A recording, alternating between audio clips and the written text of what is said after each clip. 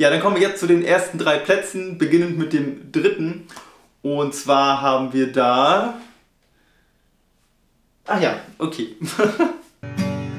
Hi Leute! Ja, der Kochvideowettbewerb ist jetzt vorbei. Also genau genommen, gestern Abend habe ich das letzte Video ausgezählt.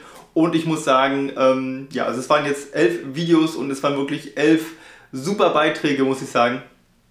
Also mir haben wirklich die äh, Rezepte gefallen, die Videos gefallen und vor allem hat mir auch gefallen, dass jeder wirklich so seine eigene Art hatte, das irgendwie rüberzubringen. Der eine eher so ein bisschen verrückt, der andere hat sich halt gar nicht im Video gezeigt, hat dann dafür was anderes Besonderes gemacht. Ja, fand ich einfach super klasse. Und ja, in diesem Video würde ich jetzt gerne ähm, die drei Gewinner bekannt geben. Und eigentlich wollte ich ja auch in diesem Video jetzt eigentlich zeigen, was jetzt alles an die äh, Gewinner verschickt wird. Also ich meine, die Kochbücher kennt ihr ja schon, aber ähm, ich wollte noch eine eigene Box zusammenstellen. Allerdings habe ich das noch nicht geschafft, denn ja, wie ihr wisst, haben wir im Hintergrund gerade noch ein anderes großes Projekt, was ziemlich viel ähm, Konzentration braucht. Und zwar ähm, das Restaurant, was wir in äh, Rostock eröffnen möchten. Die Links dafür könnt ihr nochmal unten äh, unter Video finden, wenn ihr das noch nicht äh, gesehen haben solltet. Ja, deswegen habe ich das noch nicht geschafft, aber ähm, demnächst will ich das auf jeden Fall noch machen, also jetzt die nächste Woche oder so werde ich da schon ein paar Sachen zusammenstellen. Die Ideen habe ich schon dafür. Ja, wie gesagt, da kommt dann mal ein Video dazu, damit ihr auch seht, was die Gewinner denn alles genau bekommen. Okay, ja, ich würde gerne alle Videos nochmal kurz ähm, reinschneiden und vorstellen. Und äh, zuletzt kommen dann die drei Gewinner. Die anderen Plätze werde ich jetzt, äh, also ich weiß die Plätze zwar, aber die werde ich jetzt nicht ansagen. Also wer jetzt den elften Platz gekriegt hat und, äh, und so weiter. Weil ja, das eigentlich auch gar nicht wichtig ist, denn im Endeffekt geht es ja eigentlich um die ersten drei. Und das andere interessiert eigentlich keinen. Wenn ihr, also ihr elf Leute, das gerne wissen möchtet, also von eurem Video äh, welchen Platz das dann gekriegt hat, dann äh, könnt ihr mir einfach anschreiben und äh, ich sage das dann von eurem Video, wenn ihr es gerne wissen möchtet. Ja, da hätten wir zum Beispiel die Nora Lu, die hat eine Dattelspeise vorgestellt. Ein wirklich ähm, einfaches Rezept, aber effektiv sozusagen. Also, ähm, ja, war wirklich ein super leckeres Rezept und ich fand, es hat sie im Video wirklich super vorgestellt. Also, Daumen hoch dafür. Die garniere ich noch mit Kokosflocken und Mandelsplittern und ich sag euch, kühlt sie, stellt sie in den Kühlschrank und kühlt sie für ein paar Stunden, dann ist sie umso leckerer. Das war es auch schon, das war der ganze Zauber. Es ist nicht wirklich schwierig und auch nicht wirklich aufwendig. Es ist was ziemlich einfaches. Und was ziemlich leckeres. Dann die Romina, ähm, das war die, die jetzt noch äh, zum Schluss noch mit reingerutscht ist sozusagen. Ähm, die hat wirklich super geile ähm, Oreo Pandas Cupcakes, also Oreo Panda Cupcakes gemacht. Und ja, fand ich wirklich sehr ausgefallen. Also, ähm, ja, was soll ich dazu noch sagen? Ich fand es einfach ausgefallen, total süß, wie diese, wie diese Pandas aussahen. Und für jeden Kindergeburtstag oder auch Erwachsenengeburtstag wäre das auf jeden Fall ähm, eine super Sache. Ja, auf jeden Fall eine super süße Idee. Und ja, das Video fand ich auch super klasse. Also wirklich top vorgestellt. So, das war also unser kleines Tutorial zu diesem wunderschönen Oreo Panda Muffin. Äh, Cupcakes Oreo. Gefallen! Scheiße, nochmal. Okay. Ja, dann die Jen, sie hat eine Spitzkohlpizza gemacht, wirklich super Rezept und ähm, man konnte im Video auch so ein bisschen ihren äh, Garten sehen. Ja, und ich fand das Video wirklich super gemacht, dass sie wirklich das Gemüse aus ihrem eigenen Garten holt und dann ähm, verarbeitet und das Rezept war wirklich auch super klasse. Und von der Spitzkohlpizza hatte ich zumindest vorher noch nicht gehört. Ähm, ich habe das Rezept jetzt leider noch nicht ausprobiert bisher, aber ähm, das werde ich auf jeden Fall noch irgendwann mal tun. Jetzt muss man das auch mal probieren. Ist ganz lustig, sich selber beim Essen zuzuschauen. Uns hat die Pizza super gut geschmeckt. Das Blech hat einen Tag gehalten, dann war es weg. Jetzt kann man nochmal und Portionen im Format sehen. Echt ganz lecker. Mit einer essbaren Blume dabei, eine Kapuzinerkresse. Ich sage jetzt nur noch viel Spaß beim Nachkochen, beim Inspiriertsein, beim Variieren, beim Ausprobieren und danke fürs Zuschauen, für die Aufmerksamkeit. Tschö. Ja, dann der Danny. Der hat ein wirklich super geiles Rezept gemacht. Es war auch ein bisschen komplizierter auf jeden Fall. Aber ja, wie gesagt, war wirklich ein super Rezept. Und zwar kriegt er zusammen ähm, eine Maronen, eine Rotwein-Maronenpastete mit Macaire-Kartoffeln und Apfel-Feigen-Chutney.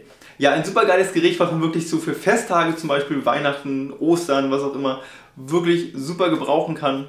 Ist halt wie gesagt ein bisschen komplizierter gewesen, aber ähm, ja, wenn man halt mal so eine Festivität hat oder so ähnlich, dann kann man doch mal ein bisschen mehr Zeit reinstecken. Wenn ihr noch Fragen habt, stellt die Fragen einfach in den Kommentaren. Ich versuche sie so schnell wie möglich zu beantworten. Und wenn euch das Video gefallen hat, dann freue ich mich über jeden Daumen hoch. Ja, das war Danny mit dem Kochvideo zu der Rotwein-Maronenpastete im Blätterteigmantel. Dazu Markierkartoffeln mit einem Apfel-Feigenschatten. Guten Appetit! Dann hat die Johanna sahnig knackige Brokkolinudeln gemacht. Wirklich auch wieder ein ähm, einfaches Gericht, aber sehr lecker. Und ähm, ja, so eine Gerichte mag ich auch immer sehr gerne, denn die kann man so ja, schnell nebenbei machen, wenn man so nur ein paar Zutaten wirklich zu Hause hat. Ja, hat sie wirklich super gemacht, super vorgestellt und ein sehr leckeres Rezept. Und schreckt sie ab. Und dann gebt ihr sie mit in die Auflaufform, vermengt sie da gut mit dem Sahnebrokkoli und schmeckt das Ganze nochmal mit Salz und Pfeffer ab. Und damit sind die Nudeln auch schon servierfertig.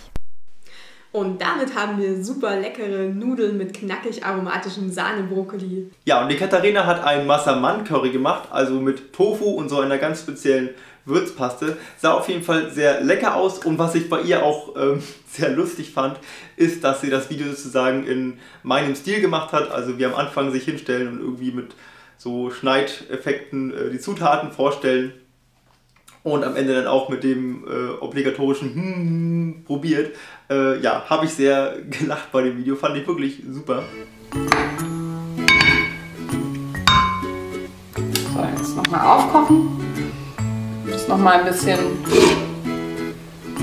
die Kartoffeln nochmal richtig warm werden. Und dann sind wir auch gleich schon bereit zum Anrichten. Ja, die Enna hat ein Walnuss-Rucola-Risotto gemacht. Wieder ein sehr einfaches Gericht, aber ich finde, ähm, ja, gerade die einfachen Gerichte sind auch immer die besten, weil man die auch wirklich äh, mit höherer Wahrscheinlichkeit nachmacht.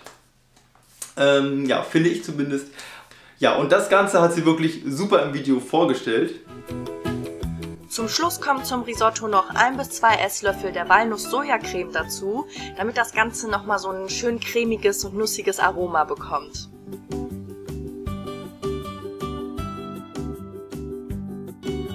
Dann zum Ende nur noch alles auf einem Teller servieren und die restliche Walnusscreme über die Pilze geben oder eventuell auch nochmal ein Klecks auf euren Risotto und schon seid ihr fertig und könnt euer leckeres Risotto genießen.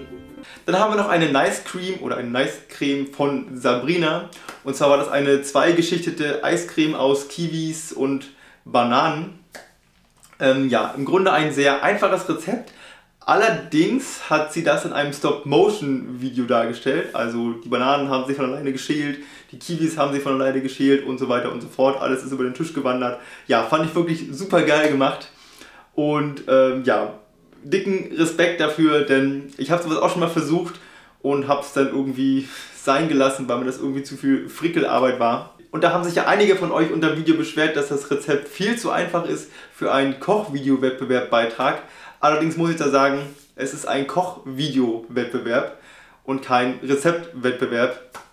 Das heißt, da zählt wirklich alles zusammen. Und wenn sie halt richtig viel Arbeit in das Video gesteckt hat und da irgendwie was total Innovatives und Besonderes gemacht hat, und das war es, das war das einzige dieser Art in dem ganzen Wettbewerb, dann ist es auch, dann gleicht es das aus, dass das Rezept einigermaßen einfach war. Ja, also wie gesagt, super Beitrag.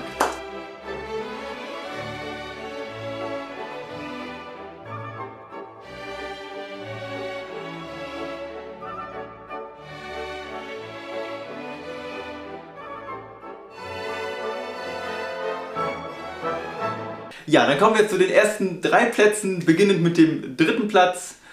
Und es ist die Auberginen-Lasagne von Martina. Ein sehr geiles Rezept, ähm, ja, wo sie halt mit Auberginen eine Lasagne äh, gezaubert hat. Wirklich sehr, sehr lecker. Und das Video fand ich auch äh, ziemlich lustig, denn irgendwie, ich glaube in einer Szene hat sie so äh, den Knoblauch auf den Tisch geworfen und hat nachher auch in den Outtakes gezeigt, dass sie halt auch ein paar Mal daneben getroffen hat. Ja, ich fand das wirklich ähm, sehr lustig umgesetzt sozusagen. So, jetzt probiere ich. Ja.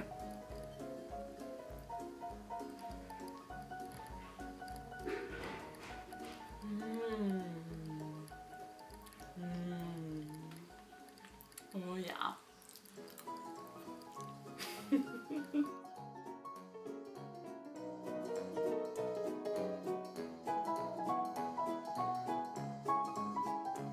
Dann auf Platz 2 auch einer meiner Favoriten.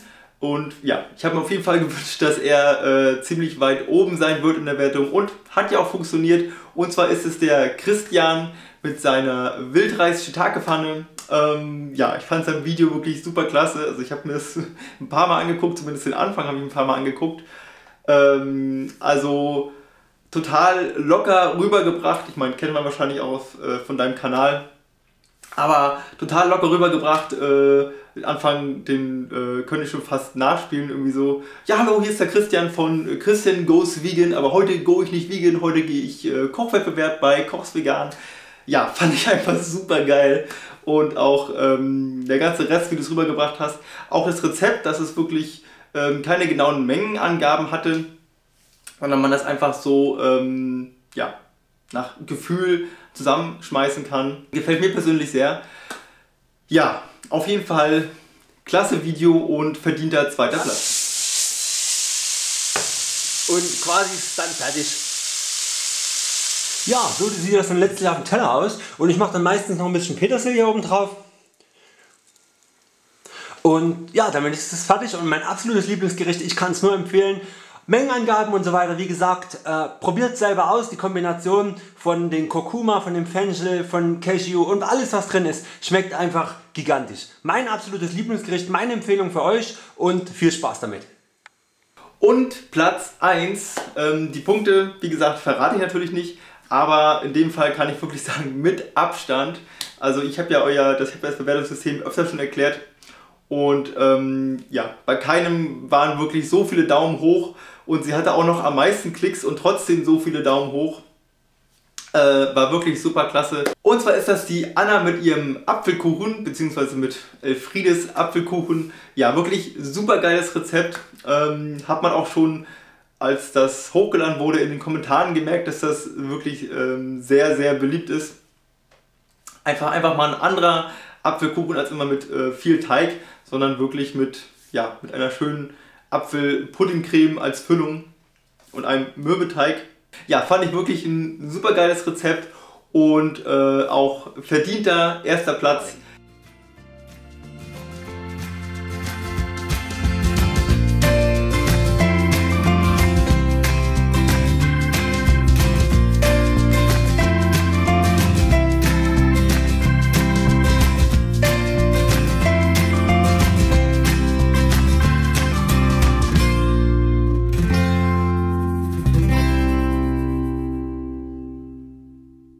ja, herzlichen Glückwunsch den ersten drei Gewinnern, also den ersten drei Plätzen. Und ja, wie gesagt, demnächst werde ich noch ein Video machen ähm, dazu, was es halt für die drei gibt. Und ich habe ja auch damals gesagt, dass die ersten drei sich die Bücher aussuchen können. Das heißt, als erstes kann sich jetzt die Anna für ein Buch entscheiden. Ich schreibe euch auch nochmal an dann der Christian und dann die Martina, was sie gerne für ein Kochbuch haben möchten. Ähm, ja, oh, ich verabschiede mich erstmal fürs Erste. Bis zum nächsten Mal, wenn ich ähm, ja, die ganzen Sachen, die ich jetzt demnächst hoffentlich mache, zusammengestellt habe. Ja, in diesem Sinne ähm, war ein wunderbarer, wunderschöner Kochvideowettbewerb. Hat jetzt zwar echt lange gedauert, aber ich fand es super, dass es so geklappt hat und dass es ähm, ja, ganze elf Teilnehmer wirklich waren. Also am Anfang hatte ich echt ein bisschen Angst, dass das, äh, dass ich nicht mal auf vier Teilnehmer komme oder nicht mal auf drei Teilnehmer. Ähm, aber dann zum Schluss kamen so viele Einsendungen immer wieder rein, dass ich dann ja wirklich Mut gefasst habe, dass es dann wirklich bis zum ähm, März ja, starten kann sozusagen. Ja, hat mir wirklich, wirklich, hat mir wirklich sehr, sehr, sehr viel Spaß gemacht, das umzusetzen. Und ich fand eure Beiträge, wie schon gesagt, einfach alle klasse. Also ganz egal, welchen Platz sie jetzt bekommen haben, ist völlig wurscht im Endeffekt. Ich meine, im Endeffekt dabei sein ist alles. Ja, in diesem Sinne bis nächste Woche hoffentlich und ähm, habt noch einen schönen Tag. Tschüss.